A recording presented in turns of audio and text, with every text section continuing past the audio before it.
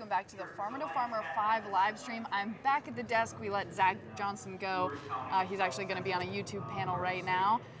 Tune back in for that. But uh, for now, we are up here with some folks who are very involved in the organics industry. Excited to have a conversation. Can we just start out by, why don't you guys introduce yourselves a little bit? Yeah, so uh, I'm JP Ray. Um, we farm uh, 10,000 acres organic uh, just north of Omaha here. Um, and I was also co-founder of AgriSecure, um, which is an advisory service to help other farmers uh, figure out how to get started into uh, organics. Uh, my name is Travis Hyde. we're from Waldron, Saskatchewan, up in Canada. Um, we've got a, an organic farm that we've kind of began the transa- transition in 2015. We're 75, almost 100% certified. Um, as we keep adding land, we keep delaying that sort of we're all certified sort of day, but it's coming. So, so yeah. Excuse me, Rusty Olson. I farm up in northern Iowa.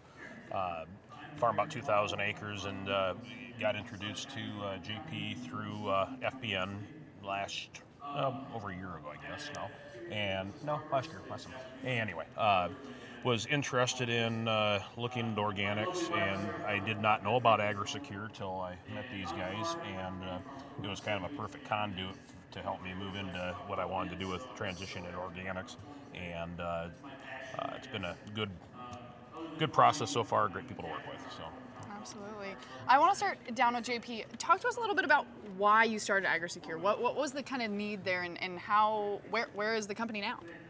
Yeah, so when uh, I, I, get this question a lot because a lot of people say like you're an organic farmer, why did you start advising other farmers, uh, you know, to uh, help them out? And a lot of it is because um, we can operate as a network and add a lot of. Uh, um, if we can add more farmers in our network and into our systems, we can gain a lot of value working together.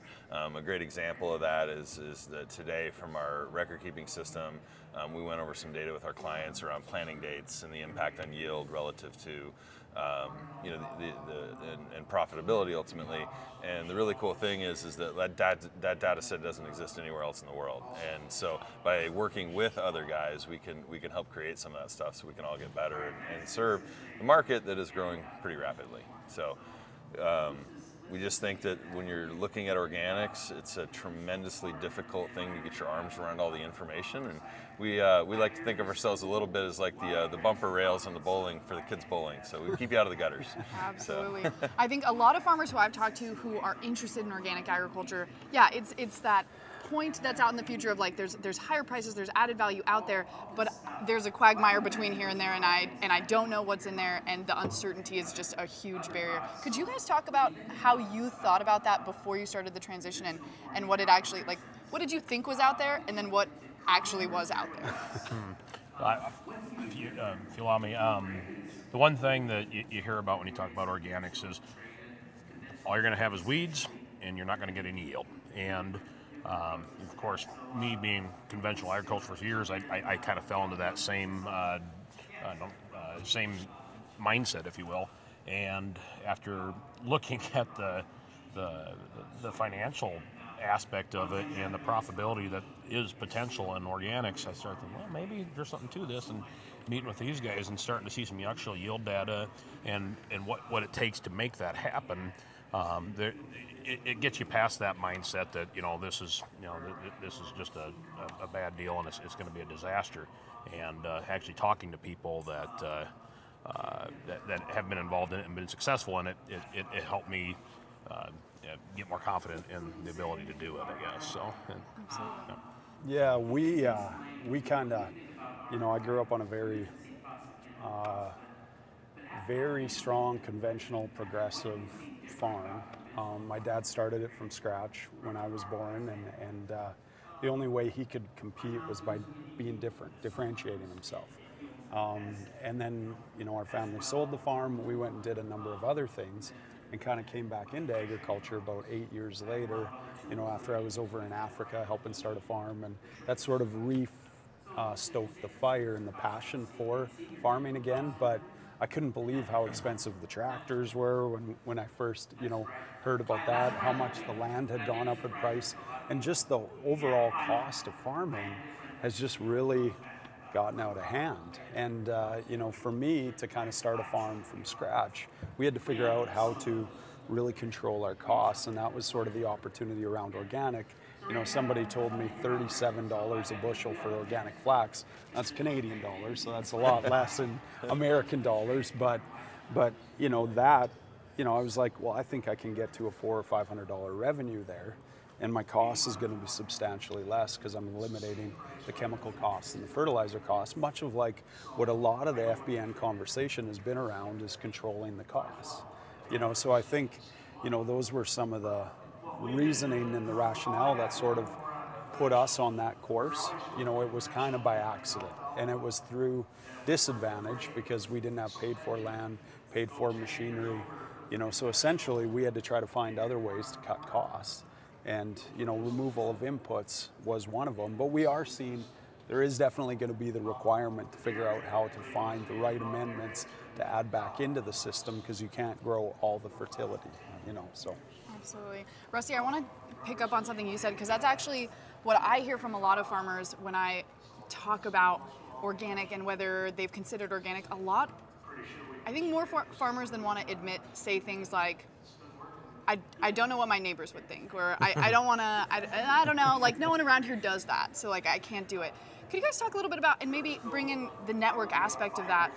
How do you move past kind of the expectations or the misperceptions, misconceptions around organic, and, and how does having a network of farmers who have already done it to fall back on and to kind of gauge with, how does that, how did that affect your journey? I, I can tell you that my over time, not just in pertaining to the agriculture or the organics, uh, my life got a lot better when I quit worrying what everybody thought about what I did, and that was a milestone for me. And uh, in, in this situation, Yes, uh, I've had a lot of uh, flack from the community. They think I'm crazy, and we just don't have it in our area. A couple counties over, there's quite a bit of it, and there's some very good organic farmers, and there's the organic farmers that are trying to farm organically conventionally, and that's they're the ones that are making the mistakes. And unpack that a little bit. What does that mean? Okay, so JP knows what I'm talking about. These, these guys that want to raise corn and soybeans, sell them for organic prices, but not do anything else other than raise corn and soybeans. So they're basically trying to farm organically, conventionally, without adding in a rotation of cover crops and a rotation of solid seed stands, oats, alfalfa, uh, peas, and what were we talking about the other day? What were they trying? Uh, just there's a lot of different options of, of crops that you need to roll in the rotation to control the weeds and, and, and, build soil health. And soil health is everything. So, go ahead. Oh no, I was just going to say that like one thing that people say is, is that uh, about organic for time is you don't have any tools in the toolbox. Um, because you don't have Roundup, you don't have, uh, you know, like a really easy nitrogen to put on. And I, and I disagree with that because I just think your tools are different. Your tools are crop rotation. Your tools are, you know, not relying completely on monocultures and they're, you know, things like that. We have to go back and manage things. Um, biologically and in a, in a systems approach rather than you know just uh, doing corn and soybeans and just taking out the technology. I mean, like that's that's not a sustainable organic system long term. Well, so. and we've we've jumped on a lot of intercropping, you know, kind of over the last three years, where we'll do a cereal with a legume, uh, oil seed with a legume to create um, diverse competition to be fixing nitrogen while we're drawing on nitrogen out of the soil, just to try to really sort of build on this sustainability piece of how how do we sort of eliminate you know the perceived fallow from the past, you know, and find ways to be profitable within each season and within, within each crop. Um, and there's definitely challenges to it. I mean, we got snowed on three times before we got a crop off this year. You know, uh, when you're growing covers while you're growing your other crops, crops and they're small grains and you got to go right on the ground to get them. When all of a sudden rains delay harvest and the green starts to grow more, things get more challenging. You know, so we are really seeing, you know, there was a lot of underestimated time that goes into organic farming, you know, compared to a conventional system that's more of a prescription based system, right? It takes a lot more management and unique management and then just a time commitment, I think, right across the board. The, but the return, the, the, really neat thing is that in the organics, your returns to really good management are much, much higher. Like you have the potential to achieve that. Now, back a little bit to your earlier question, if it's important for you to go to your coffee shop and talk about your clean fields all the time, organics might not be for you. Um, not because it's always a mess, but there's going to be situations where a field gets away from you from time to time. Um, but it, again, in the aggregate, like our best corn um, does is the be- just as well as the conventional, and you can't tell it apart when you drive down the road from, from you know from conventional crops. And you know, so I think that, but at the same time, you have to be a little bit open-minded. That sometimes things aren't going to work out just the way that you want. Um, but in the end, you're going to be much better off. My cousin put a Pheasants Forever uh, habitat sign in my soybeans one year, um, and they were not particularly good that year. But, uh, you know, uh, so so I think that's something that has to do with it. Organics isn't for everybody. Um, you have to be kind of uh, willing to kind of fail forward, as Travis likes yeah. to say, that. um, because we don't have it all figured out. But the neat thing is, is that the margins are such that you can make some mistakes and still be okay. So. And working with a network like uh, AgriSecure, at least you've got some guys that say, "Can you try that? Let me know how it turns out." Yes. Well, and we're not alone either. kidding. No, Yeah. no, but but really, we're not alone. I, I like that because, like, you know, there are days that it's tough and and there's ambiguity and you don't know how to do it. And when you have like a network of people that you can talk to to help figure things out, it's great. I mean, it's it's just it really makes it a lot easier. It's a tough journey when everybody makes fun of you for what you're doing. Yeah, I can only imagine. Well, and unpack fail forward for me because I don't hear a lot of farmers who are proud to say like, mm, "I fail a lot." That's, Well, that's what I'm doing. I mean, I, I, my dad had the same kind of. He said, if you're not changing, you're going backwards. So if you're not going forward, somebody else is. So technically, you're going backwards. You know. So he said, if you're not learning every crop, every season, I mean, we really only have so many in our livelihood as a farmer, and. Uh, you know, so if you're not taking chances to try to learn what will work and could work better, and almost kind of being your own worst critic, then you're not going to be prepared, I think, for you know the future of where we're going to be asked to go with agriculture. And and and actually, I heard it first. I read a book called "Failing Forward" by um, John Maxwell. You know, and that was that was some great advice because what it did is it, it sort of proved that we got to celebrate failure because celebrating failure is what progresses humanity. You know, it progresses people. We grow. You know, you think of the gym. When you tear muscle, it grows. You know, so essentially, I feel like that's our opportunity, especially as young farmers trying to just make our stake and and have a chance to kind of farm in the future. We're going to have to be stronger than the guys that are older than us that have paid for land, paid for machinery, and a lot of substantial advantages over us. And and and I think like you know, what we've learned is Mother Nature's creative and crafty, you know, and and literally that fight against those weeds isn't going away, you know, and and and yet there's consumers that are demanding something different, you know, as far as a product for their food, and and I think like that's the tremendous opportunity is if we kind of put our ear, you know, to the consumer, and then we just try to work backwards to figure out what they want to see happen and figure out what we can learn from, you know, whether it's my father or my grandfather. When I was in South Sudan, they had plows there, you know, and I was the guy brought over there to help teach them how to farm. And I called my dad. I'm like, how do you use a plow? Like, cause I'm from Saskatchewan, small grains. I mean, we direct seeded everything, and and so Dad said, well, I'm gonna have to call Grandpa, you know. So he didn't even know, you know, and that's how things change. But you know, is everything from the past necessarily all bad? I don't think so. You know, so I think what we've got to do is sort of gotta honor evolve. from the past, Yeah. the tact, the, the, the and, and, and, and adapt it maybe for your farm, your situation, you know, um, and the market that you're aspiring to satisfy. Well, the, the technology's there to use some tools from the past to make them efficient to the Yeah. future. Yeah. I mean, with the RTK ability and, and, and the row crop portion of the uh, uh, organic cropping, it, everything's straight and easy to. It makes it so much more efficient to cultivate. Well, the, the first time that I saw a weed burner, I thought, oh, that's a really clever innovation. And then I did a little more homework on it and found that they used to use them all the time back in the 50s.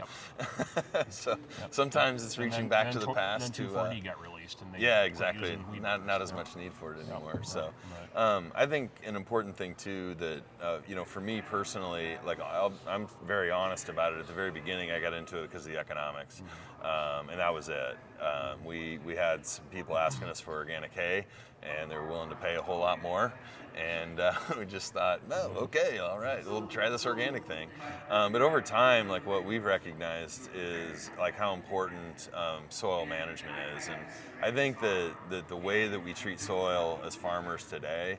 Um, I think has got a lot of challenges. Um, what what we've seen since we switched organic is a bit much bigger return to biology happening in the soil. We don't need the amount of nutrients, you know, as Travis was talking, when you have crop rotations, but also just when you stop putting on the acidic fertilizers and, and all the salt-based chem, um, you get you get the biology going in the soil again, and you can actually manufacture a lot more of the nutrients that you have in there, and, and improving soil tilth and things like that. So um, I'm not uh, I didn't start off that way, but I'm becoming much more of a believer in uh, in, in, some of the principles behind organic systems. And regenerative agriculture in general, you know, there's a, a large push for cover crops and. Uh, it, it, so, and, and, I applaud people that do that, but then it just floors me that they're they're doing all this, and then they're going and killing the stuff with Roundup in the spring, and just taking away everything they just did that was positive for the soil. So there's there's pluses and minuses in every operation Sure. and every style of agriculture, and hmm. what we're doing is just trying to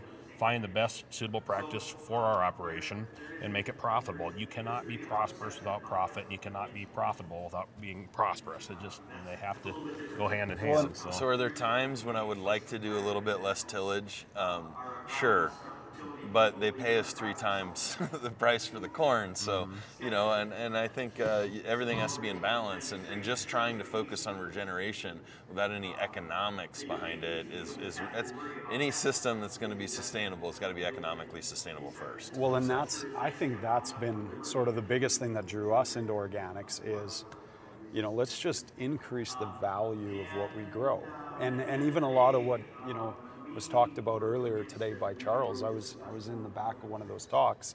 Let's look at margin instead of bushels. You know, I, I think we're, we're, we're, we're just in agriculture right straight across the board. We've got to we got to stop trying to just grow bushels and grow profitability and stop trying to feed the world and feed our family, you know, by looking after sort of the, the margin and the profit of the farm. And then and then let's go a step further and look after feeding our communities and you know what can be done locally that can benefit sort of our community that's dying and our community that's getting smaller. And we're seeing all those incredible impacts. You know, we're, we're bringing young kids back into the schools because there's new people coming to work on our farm. There's, you know, we're, we're, we're, we're bringing back tillage companies that manufactured cultivator shovels and you know and all of a sudden they're like where's all these orders coming from because because it's parts and stuff that was manufactured locally you know and, and it just starts to create this leaky bucket that drops right here at home you know and just plants more of the dollars in, in the people's pockets around us. And that's, I think, the hopeful story of what we're seeing. It comes with all kinds of challenges, it comes with all kinds of pushback in your local community. I mean, what we're doing is disruptive, you know, it's different. You know, and, and just people are afraid of change. And I actually acknowledge and understand that because I too, you know, fought and, you know, fought it myself until I realized this makes so much sense. And you start to convince yourself by doing it, you know, in small ways to begin with. But I'm a big way kind of guy. If I'm going to take a chance, I'm going to go all in. I'm not going to sit on the fence, you know, and that's what we've done in this sort of failing forward sort of mentality is we just whatever the new problem that arises will be up for the challenge, you know. Absolutely. Let me get one last eventuality that I hear a lot from farmers in front of you guys. 2019 was not a great year. Mm-hmm. Came on the heels of a lot of other not so great years. 2020 doesn't look to be a particularly much better year, and I think a lot of farmers look at organic, they hear what you're saying, they've seen some results, maybe they know some people who have done it, but they say, you know, there's so much risk right now. It's not the time. It's not the time for me to try something new. It's not the time for time for me to experiment or explore. It's the time to sit back and just try to play defense. What's your response? sit back and slowly die. I mean, um, Travis is a little bit unique from a lot of people that go into organics in terms of going all in. But a lot of the folks that we work with are a little bit more like Rusty. Um, More even- rational. well, uh, maybe 200 acres at a time and things like that. E- But even us, I mean, transform transferring our acreage has taken 10 years, and we didn't. We started off at 500 acres a bit. Um, it's an investment in the long term, but if you don't start making that investment today, you're never going to get to a point where you actually have some control over what you're doing. Um, so that said, it's not for everybody. I mean, it is hard work. Um, we like to joke that uh, the way that you can raise money to buy equipment is sell the boat in the lake house because you're not going to need them. um, I- and, and, and it is, but it takes a different mindset of somebody that's willing to be invest in the future. And it's not easy. It's not like a you know big pile of cash sitting at the end of the rainbow. It's, it's going to work. It's going to be a lot of work. But um, yeah, we, we just feel that if, if you're willing to think differently, you're willing to uh, you know make an investment for the future to get into a different model, then there, there's no better time than the present to get started. and, and look at the tools that you have in front of you. In, in my situation, we have a lot of hog manure. It fit the bill. It, it to me, it made perfect sense to be able to incorporate into something to put value into that manure. I've got it on the farm. I don't have to. I, I apply it myself, so everything kind of fell into place to make this work for me. And I'm, you know, I'm going to make mistakes. I know I'm going to make mistakes. I've already made enough. The first year I made mistakes, you know, but uh, I, I can also tell you I had some great successes, and uh, I'm looking forward to doing it next year. I did have a friend here a week ago. Exactly what you're talking about is, uh, well, it's just not a good time to change. And he said, "You're you're doing this wrong, Rusty." He said, "Think about varsity blues. Stick to the playbook. Stick to the basics." And I was just like, "So we keep doing the same thing over and expect a different result?"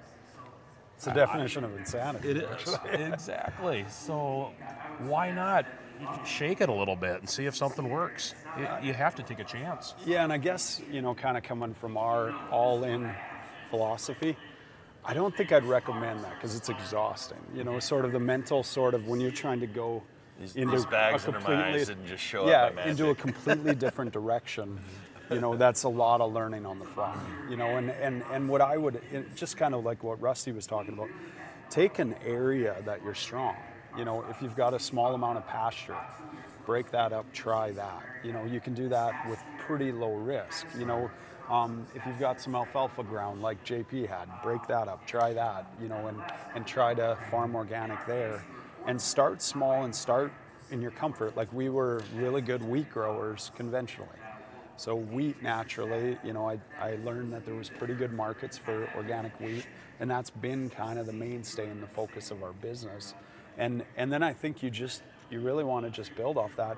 I mean, there's no time like today. I mean, if your opportunity cost is you know a relatively low, low margin at the best case in your current operation, you know, and that's assuming we can control weather and we can control prices and we can control market disruptions, which we're really learning. I think, you know, the whole piece of humble pie is we can't.